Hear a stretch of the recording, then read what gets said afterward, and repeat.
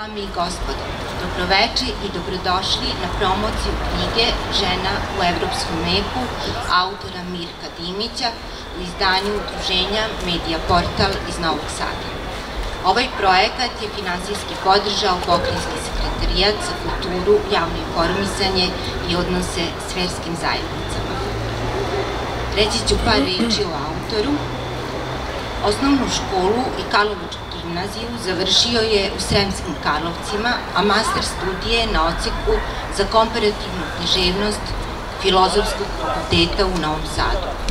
Trenutno je na doktorskim studijama jezika i književnosti u Novom Sadu i na master studijama na oceku za dramaturgiju Akademije umetnosti u Banja Luci. Mirko Dimić je danas sigurno zanimljivo ime u srpskoj književnosti, koji se u svom okusu bavi gotovo svim granama književnosti, od teorije do poezije. Stručne i naučne radove objavljivao je u više časopisa u zemlji, regionu i svetu, najviše se baveći istorijom umetnosti, likovnom kritikom, poezijom i prozom. Objavio je i dve zbirke pesama i knjigu kratkih priča od kojih je jedna prevedena na italijanski jezik. Dobitnik je više književnih priznanja. Prve nagrade na festivalu poezije u Bišeljevu 2015. za najbolju pesmu stranog pesnika, prve nagrade za poeziju na sajmu knjiga u Koratu u Italiji 2019. druge nagrade za najbolju stranu zbirku pesama u Đovinacu Italija 2019. Takođe, dobitnik je i nagrade Zlatna značka koju dodeljuje Kulturno-prosvetna zajednica Srbije za međunarodni doprinos kulturne saradnje Italije i Srbije. Dobitnik je plakete počasnog građanina grada Višeljeja, kao i nagrade Pavle Marković Adamov za književnost i kulturni doprinos Sremskim Karlovim. Jedan je od osnivača i menadžer filmskog festivala u Sremskim Karlovcima, Karlovci Film Festival, dugogodišnji saradnik Gradske biblioteke u Novom Sadu, gde je radio kao priređivač više zbornika, knjiga i kataloga. Saradnik je fakulteta za društvene nauke Santa Sofia i Stranija, Italija na smeru za slavistiku. Direktor je galerije Kulturnog centra Karlovačka umetnička radionica, gde je radio na organizovanju desetina izložbi i drugih kulturno-umetničkih programa u saradnji sa umetničkim galerijama širom Evrope. Glavni i odgovorni urednik časopisa za nauku, kulturu i umetnost Krovovi, kao i član redakcije italijanskog časopisa za književnost La Valisa. Jedan je od menadžera izdavačke kuće Seko Peticioni iz Korata, član je Društva književnika Srbije, zaposleni u biblioteci Matice Srpske u Novom Sadu, živi i radi u Sremskim Karlovcima. Eto, nisam uspela ovo kraće da kažem, jer puno je toga, imamo ovde jednog zaista svestranog autora, a knjiga koju večeras predstavljamo, Žena u Evropskom veku, donosi nam zanimljivu komparativističku teorijsku studiju u kojoj autor obrađuje motiv žene kod tri velika pesnika, Dantea, Miltona i Njegoša, transponovan kroz književnu religijsku problematiku. O tome će nam više reći večerašnji učesnici na promociji, profesor dr. Zoran Đerić, Mirjana Tumović, filolog i sam autor. Zamolila bih sada profesora Đirića da Hvala. Evo, čuli ste iz ove najave kakav je Mirko Dimić mlad, a svestran i do sada se afirmisao i kao pesnik i prozni pisac, a ovom knjigom, studijom, pokazuje i vrlo ozbiljne namere da se bavi književnom naukom, budući da smo čuli da je i na doktorskim studijama. Možemo, znači, o ovoj knjizi govoriti iz više aspekata. I kao predložku koji je bio za master rad, koji se malo drugačije zove, ali u principu je ta tema i ti autori. ili kao studij koja je doprinos, bez obzira što su u pitanju teme dosta znane i postoje čitave nauke posvećene ovim piscima, ali opak jedan drugačiji ugao i jedan možda svežiji pogled na ovu večitu temu. I treće, možemo da govorimo o njoj kao potencijalu e, tema koje još nisu dovoljno osvetljene u opusima velikih pisaca. Kad pogledate korice ove knjige, vidjet ćete tri portreta kao tri medaljona. Tu su naravno Dante, Milton i Njegoš. Tako da ova knjiga u stvari ima, da ne kažemo, i nadnaslov, naslov i podnaslov. Ovaj, da bi bila jasnija, da bi čitalac već na, prvu, na prvi pogled i kad je da uzme ruku e, bio svestan kakvih tema se autor poduhvatio i kakvim će se temama baviti.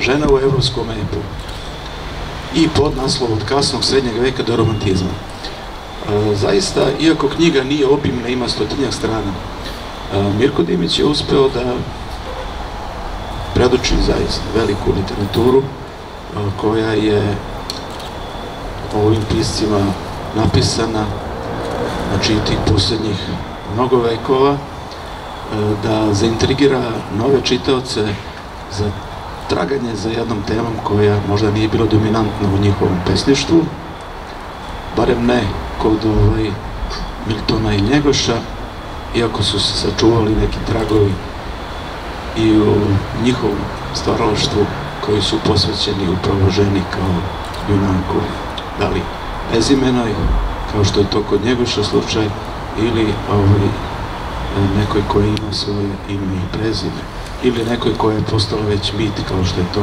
Beatrice kod Dantea. Ova knjiga kada se gleda kao master rad ili kao studija koja je ovaj, precizno vođena od naslova kroz istoriju teme do kraja e, koja ima određenu komparativnu strukturu budući da je sa tim namerama i pravljena da pokaže šta je to zajedničko kod ova tri pisca koji pripadaju hrišćanstvu kao jednoj velikoj religiji, ali istovremeno pripadaju i nekim drugim epohama i nekim drugim, ovaj, da kažemo, do poimanjima e, teme o kojoj je ovdje. Dante, koji je ovaj, veliki italijanski pesnik, koji je dobro deo stvarala što pisao i na latinskom jeziku, koji je običaj tog doba, a posle i na jedan od prvi koji je pisao na narodnom italijanskom jeziku, upravo ti ovaj, spevovi koje pominje Dimić u ovoj svojoj studiji, koji su vezani za njegovo najpoznatije deo, božanstvenu komediju i ovaj, oni su nastali na italijanskom jeziku i zaista predstavljaju vrhunsko delo ne samo srednjeg veka, nego su vreme delo i do danas ostali. I tu je naravno više ženskih likova, Dimić ih analizira i smešta u različite situacije i pokazuje kako su se iz peva u spev ti likovi transformisali iz običnih ili anonimnih žena do nekih koje su uzdignute na nivo mita, kao što je to već pomenuta Beatrice. Milton, veliki engleski pesnik, koji je bio upravo po tom svom čuvenom epu, Izgubljeni raj, poznat, cenjen, prevođen, koji je evo, navodno uticao i na Njegoša i na čitavu generaciju pesnika, ne samo svog vremena, nego i potonjih. Takođe je ovde prisutan i analiziran korišćenjem različite literature da pokaže koliko je protestantizam kome je pripadao imao drugačije poglede na ženu i e, kako se taj ženski lik od neke bludnice, grešnice, od e, sluge djavola transformisao do Bogorodice, majke Device tako dalje. Tako da zaista je ogroman raspon ovaj, ovih likova u njegovim kažemo, epovima. I naravno Njegoš, naš veliki pesnik, državnik, koji je također hrišćanin, ali on je jedini pravoslavni. Tu su tri različita hrišćanstva od katolika preko protestantizma do pravoslavlja, tako da je to zaista ovaj, jedna studija i o hrišćanstvu između ostalog i o različitim doživljajima motiva žene kroz ovaj, hrišćanske, religijske spise i epove. Njegoša ovde je ovaj, najteže možda braniti zato što on zaista ne ima mnogo ženskih likova. Jedna pesma koja je ostala sačuvana, objavljena posle njegove smrti, poznata kao Noć skuplja vijeka i ima jedna anonimna sestra Batrićeva u njegovom čuvenom spevu Golski vijenac, ali ovde je akcija nastavljen na uh, luču mikrokozma, jedan ep koji je fantasmagoričan, filozofski, ali istovremeno religijski, koji ima elemenata kojima se zaista može dovesti u vezu i sa svojim prethodnicima, kao što su već pomenuti Milton pa i Dante. Zaista ova studija u stvari e, više nagoveštava u kojim se pravcima mogu kretati istraživanja, nego što može da ih sve popiše ili predoče. Ali opet, e, pokazuje jednu osobinu koja nije tako česta kod naših ljudi, a to je e, da ume da sintetiše, da abstrahuje i ume da sumira, da analizira e, i da ne bude predugačak, preopširan, nego da bude tačan i da tačno ono što je naumio predoči u što manje u što manje rečenica i da da za to adekvatne argumente. Tako da ova knjiga normalno ima puno fusnota, budući da su i brojni izvori korišćeni, različite izvori za različite autore, ali i neki koji su univerzalni, koji su vezani za ovu problematiku o kojoj će, verujem, više govoriti moja mlada koleginica. Ja bih mogao govoriti još o ovoj knjizi sa ovaj, različitih, kažem, ovaj, aspekata, budući da ona zaista otvara prostor za razmišljanje u raznim pravcima, ali meni je bilo ovaj, pre svega interesantno kada sam dobio rukopis, kada sam ga čitao za recenziranje, kako se jedan mladi pesnik, tada na master studijama, usudio da se uhvati u koštac sa jednom ovako velikom temom. Zaista, da se, da se uhvati u koštac, možda nije bio ni svestan koliko je to veliki zadatak i šta će sve morati da pročita i da sagleda kako bi došao do ovaj, rešenja koja je, do, koja je iznao u svojoj studiji. A to je da je, da je kažem, prednostavljeno žena nedovoljno bila prisutna i vrlo često ovaj, u negativnom svetlu. Ovaj, ali ima i svetlih primjera, tako da e, zaista može se govoriti da je svetska književnost od srednjeg veka pa na ovamo bila dosta nepravedna prema ženama kao junakinjama, ali evo sad dolazi neko vreme kada se i ovoj temi drugačije pristupa i kada se, kada se žene zaista ovaj, pojavljuju kao junakinje velikih epova, velikih knjiga, romana, tako dalje. I još jedna stvar koja je stalno bila prisutna, a koju je vešto uspeo da izbjegne, a to je erotizam.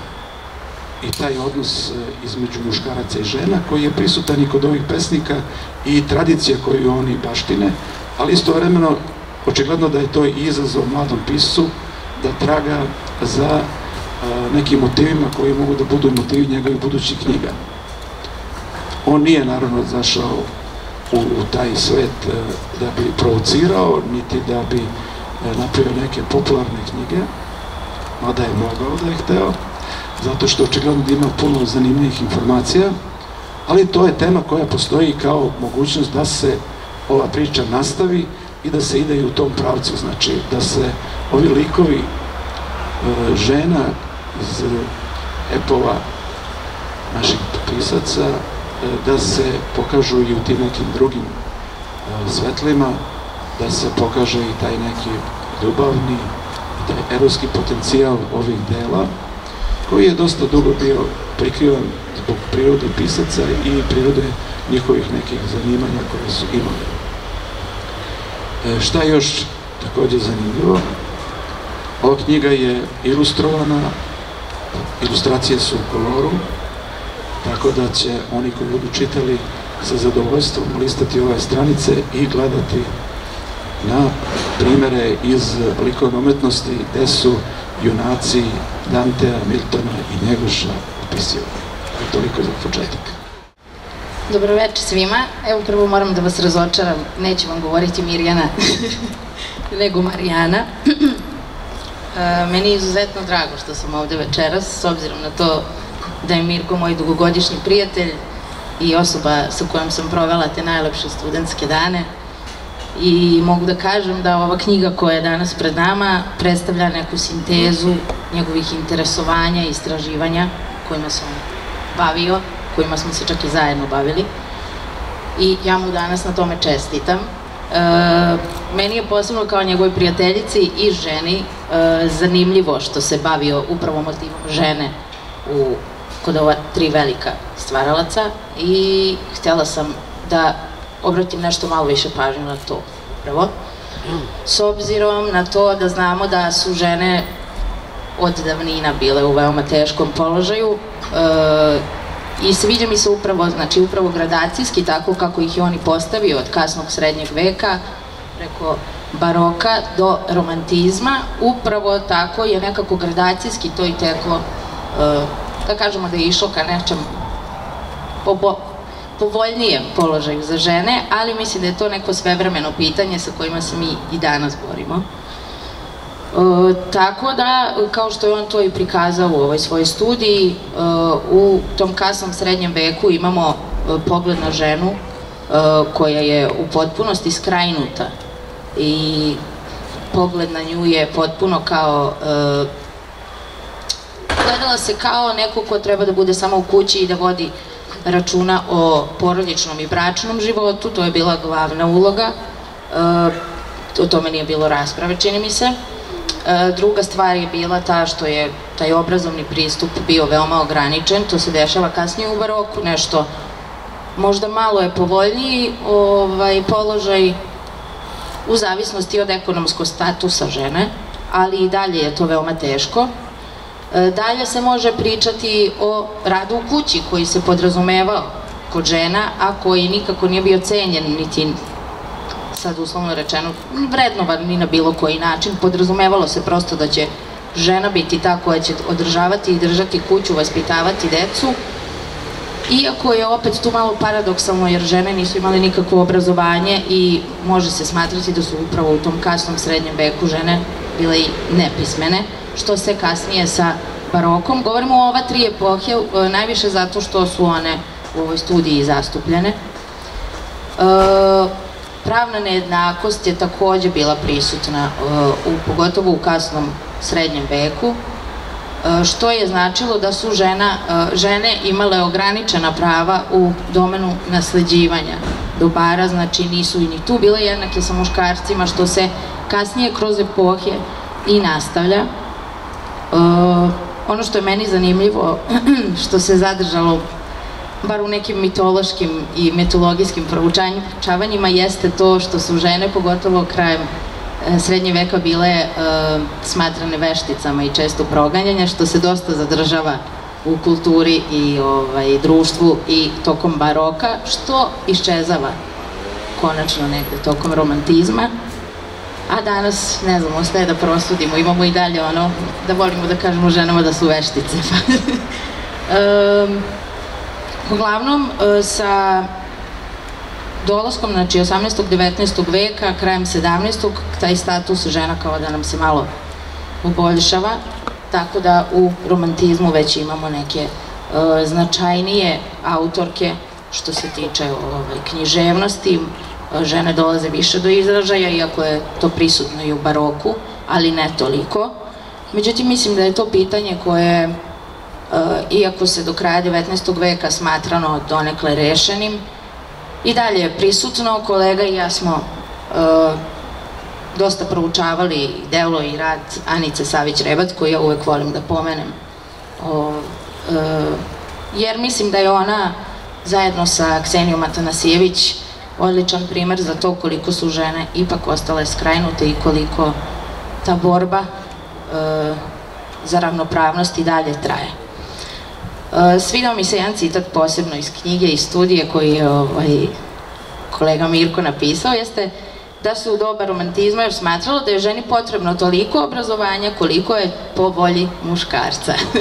Nadam se da to danas više nije tako, a to je ovaj, i očigledno valjda po tome što vidimo da su žene danas sve više i više na nekim većim čijoj kući, dobro.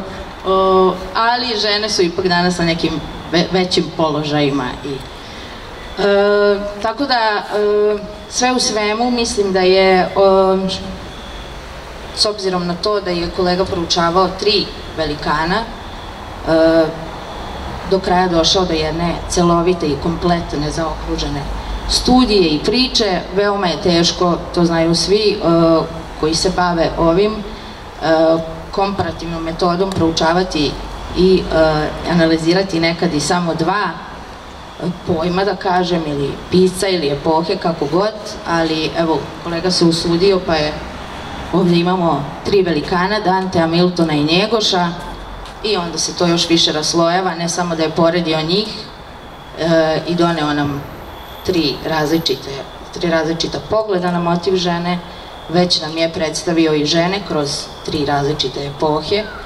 Ja mu još jednom na tome čestitam i nadam se da ćemo imati zadovoljstvo još mnogo njegovih ovakvih radova da čitamo.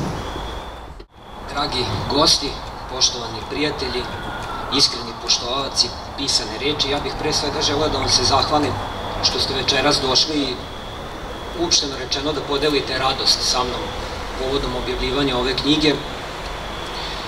Slušali smo, odnosno čuli ste koncizna ovaj, sagledavanja ovog dela i mogli ste da steknete neki opšti utisak da je bilo teško i sad je na meni da vam kažem koliko je bilo teško.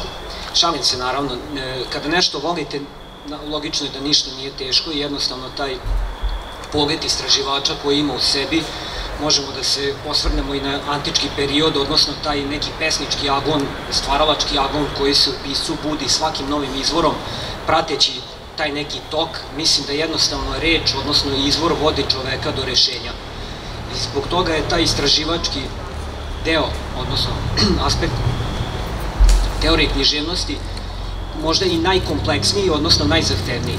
Ja sam se pre ovoga bavio poezijom, odnosno, ajde da kažemo, gradacijono, je to možda i neki logičan put samog pisca da krene da se prvo bavi poezijom, pa posle prozom, eto tako sam ja išao, na kraju kao neka kruna, odnosno taj neki najzahtevniji deo, usudio sam se da se bavim i teorijom. Dok sam slušao ovaj, e, koleginicu Sanju, odnosno iz arhiva Vojvodine, dok čitam moju biografiju, uplašao sam se da će biti duža biografija od mog govora, tako da, ali verujte mi da, da nije to ovaj, baš tako, mislim jednostavno to je nekako došlo samo po sebi, imao sam tu sreću kao što sam ovaj, ispremio danas da vam ispričam, odnosno uprostit ćete mi, ja sam večera spremio zapisan jedan recimo tekst o svojoj knjizi, jer nekako je nezahvalno da pisac priča sam o sebi, mislim da bih otišao u neke druge krajnosti, izgubio bi nit i ne bih uspeo da vam dočaram u stvari zašto smo ovde da objasnimo o čemu smo o čemu sam želeo da govorim u ovoj knjizi.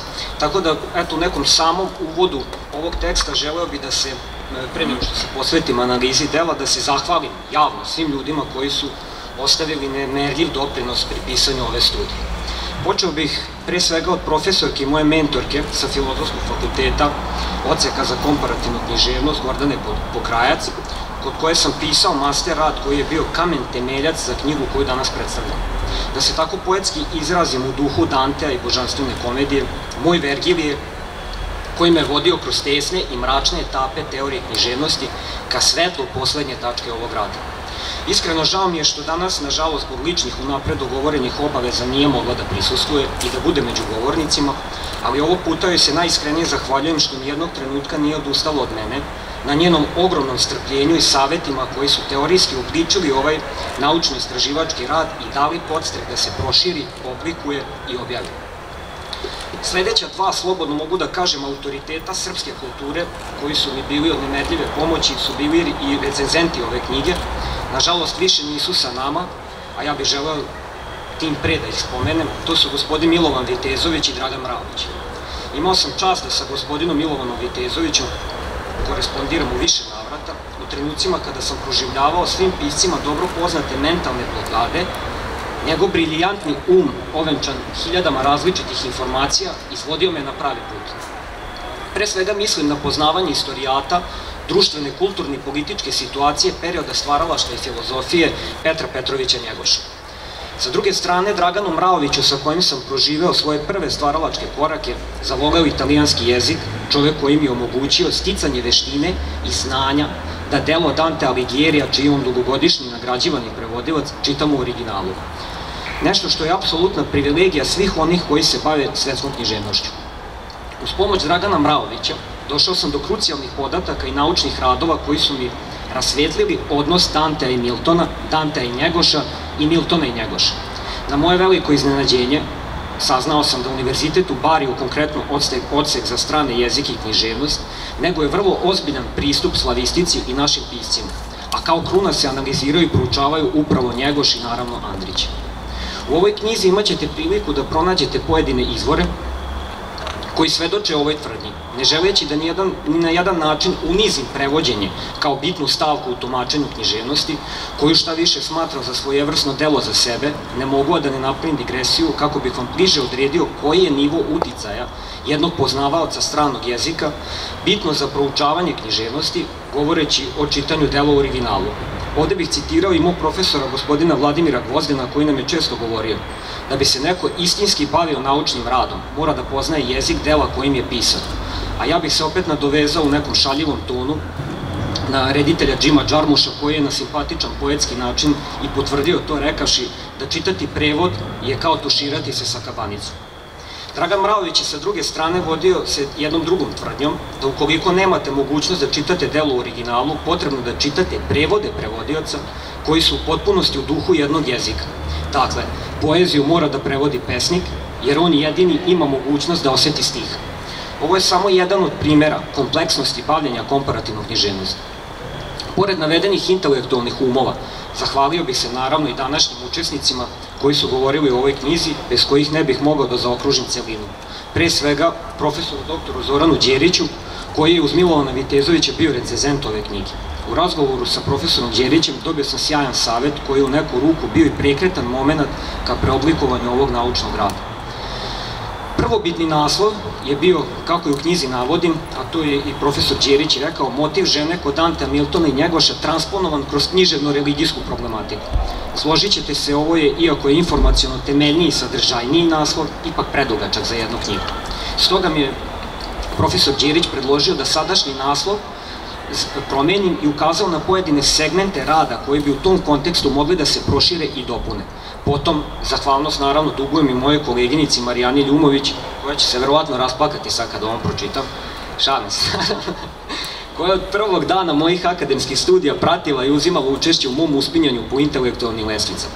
Ona je bila prva osoba koju bi se obratio kada bi završio neko poglavlje, pravi prijatelj koji je uvek bio dobronamerno, kritički nastrojen i najiskreniji u svakom smislu mog stvaralačkog puta. Vrline koje su meni od uvek bile potrebne kako u pisanju, tako i u životu uopšte. Ovo je samo jedan od projekata na kojem smo zajedno sarađivali, ona je to ispomenula, kada je motiv žene konkretno u pitanju. Naglasio bih da smo uz ovu knjigu naš zajednički rad e, vrlo plodno ostvarili u igrano dokumentarnom filmu posvećen Anici Savić-Rebac, o kojoj je bilo reči, i koji je takođe jedan od bisera produkcije udruženja Medija portala na čelu sa gospodinom Zoranom Ivezićem, koji je izdavač ove knjige. Ja bih se zahvalio takođe gospodinu Iveziću što je na neki način prepoznao e, kao producent potencijal nas mladih stvaralaca i pružio nam mogućnost da se pred širim auditorijumom dokažemo. Ne mogu naravno i da ne spomene moje kolege iz Biblioteke Matice Srpske, Jasminku Lovre, koja je bila zadužena za sve tehničke aspekte kada je u pitanju izrada ove knjige. Ona je generalno bila jedan od, od faktora zašto je ova knjiga ovako, ja bih rekao, dobro i e, ovaj, ilustrovana sa raznim detaljima, to je sve bilo njeno idejno rešenje. gospođi Danijeli Kjermeci koja je nesebično pomagala pri lektorisanju u Statjanu Bogojević i našu koleginicu pesnikinju Snežanu Nikolić. Na samom kraju želio bih i ovog puta da se zahvalim mom pokojnom profesoru gospodinu Miodragu Radoviću koji mi je jednom u šali rekao, mada kod njega se to nikad nije ni znalo da li se šali ili ne, rekao mi je kada sam mu donao svoju prvu zbirku pesama da će mi pružiti ruku tek kada napišem neko delo koje je vezano za teoriju književnosti. E, ja bih mu sad rekao da, da mu veliko hvala i ako negde daleko izvan Vasione sluša moje reči, ja mu pružam ruku i podsjećam ga, kao što je i on nas iznova i iznova podsjećao na Getea i njegovu maksimu, siva je teorija, a zeleni se samo drvo života. U sledećem delu ovog teksta pokušat ću ukratko da vam iz autorske perspektive predstavim kako je u stvari nastala ova knjiga i koja je njena temeljna zamisao bila. Sama ideja za ovaj rad nije se prvobitno rodila iz trotlanog komparativnog odnosa, kao što je bilo reči Dantea, Miltona i Njegoša, već iz jedne sasvim druge veze. Kao komparatista kome je odnos književnosti istorije umetnosti od uvek bio najzanimljiviji, 2017. godine na jednom od predavanja kod profesorke Gordane Pokrajac došao sam na ideju da bi bilo dobro komparativno sagledati jedan drugi intermedijalni odnos. U pitanju je odnos engleskog slikara i pesnika romantizma Williama Blakea koji je imao direktan kontakt sa Danteom i Miltonom kroz intermedijalni odnos, naravno, slikarstva i, i epa.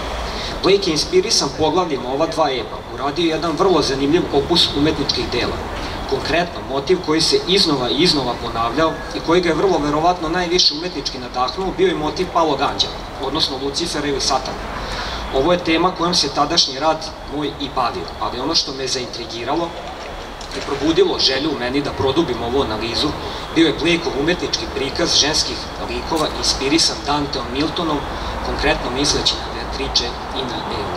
Dakle, ovo je bio neki inicijalni pod, poredbeni odnos dva epa iz dve različite epohe i on je praktično u nekom ruku u mojoj glavi bio formiran.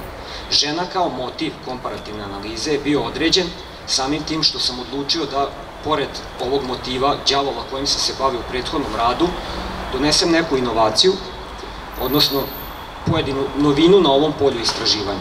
Igrom slučaja, ako tako nešto uopšte i postoji, dolazim u kontakt sa jednom fantastičnom knjigom autora Dušana Stojanovića pod nazivom Milton i Njegoš, ogledi o našim kulturnim dodirima sa Englezima.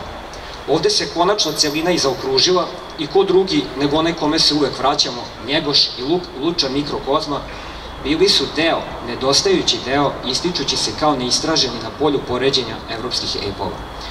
Sada ću ukratko pokušati da vam, da vam objasnim zbog čega baš Njegoš, iako je to možda sad poprilično komplikovano, ali nadam se da ćete me razumeti. Značaj luče mikrokozme koji iz ličnih afiniteta karakterišem kao jedno od najznačajnijih dela, ne samo naše književnosti, već evropske uopšte, u sebi, nosi iskru potpune promene narativa, e, već e, e, ne nosi samo, pardon, jedno od najznačajnijih dela naše književnosti, već evropske uopšte, nosi u sebi iskru potpune promene narativa, već poznatih biblijskih reminiscencija i motiva. To je bio još jedan od zanimljivih stvari koja me u startu zainteresovala da je dublje e, analiziram. Sa druge, kod Dantea i Miltona, sa druge strane, kao što sam i u knjizi pokušao da objasnim, imamo jasno definisan motiv žene, dok od Njegoša, kao što je to profesor Đerić rekao, lik i motiv žene je odsustujući, pasivan, ali ipak u drugoj filozofskoj konstataciji i analizi sve prisutan. Na taj način, predstavljajući najkompleksniji i najzahtevniji vid analize kojom sam možda koju može jedan komparatista da se bavi. Da bismo shvatili njegošev odnos prema ženi, potrebno je bilo sagledati celokupan istorijski razvoj i poziciju žene, smestiti ga u, u kulturno-istorijski, socijalni, filozofski i religijski kontekst, uz to bih dodao i rudarski se pozabaviti svim ostalim delima srpskog autora iz kojih bi pažljivo izvlačili motive žene. Samim tim, da bismo prihvatili koncept ženskog motiva kod Njegoša, morali smo da analiziramo Gorski vijenac, zajedno sa pesmom koja je takođe već bila spomenuta, to je Noć skuplja vijeka, u kojima je ovaj motiv izraženiji putem poredbene analize Dantea i Miltona smo mogli tek da shvatimo njegovu suštinu. Smatram da iz moje lične perspektive ovaj deo knjige se može iz ugla teorije književnosti i novine u istoj posmatrati kao najznačajniji.